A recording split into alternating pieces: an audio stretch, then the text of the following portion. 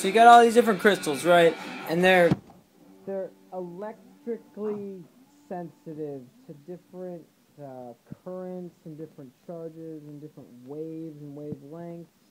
And with that being said, all those various uh, applications of waves and just just variations of waves, all that, all of that uh, can end up in the crystal. Like the crystals can store that energy because uh, they emit and store energy as uh, vibrational objects. They're similar. They say if there was an object on Earth that's very much closest to a person, they say it's a crystal of quartz. And uh, all of uh, Lemurian quartz is uh, mined out of Brazil. I think, right?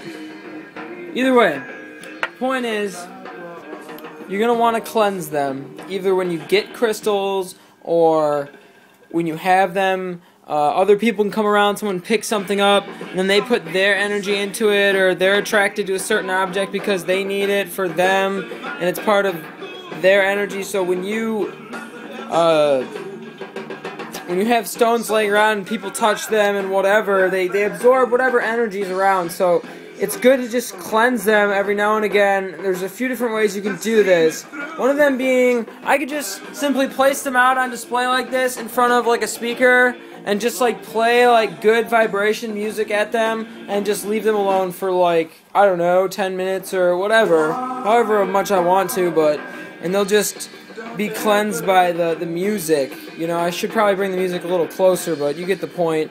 Another way you can do it is uh, by taking them and like I can run it underwater.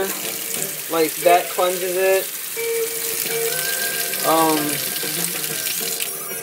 you gotta think, like, I'm still touching it, so I'm still transferring my energy into it, regardless of whether I just cleansed it off last time. For it to be pure, I would have to do something like this where I'm not even touching it, or I don't know, but you gotta think of, like, what kind of energy you're charging into your crystals, and, uh,